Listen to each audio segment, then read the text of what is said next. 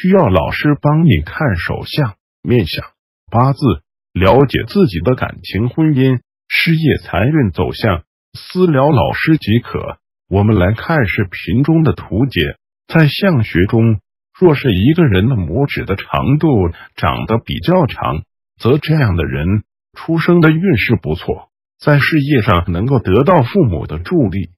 少年的运势发展也会非常的不错，来财也快，一辈子少会经历挫折与磨难。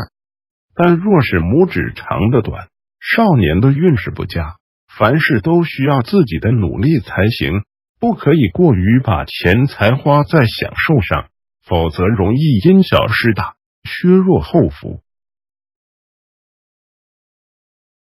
需要看相或者批八字，可以加老师微信：六六七二三三幺九。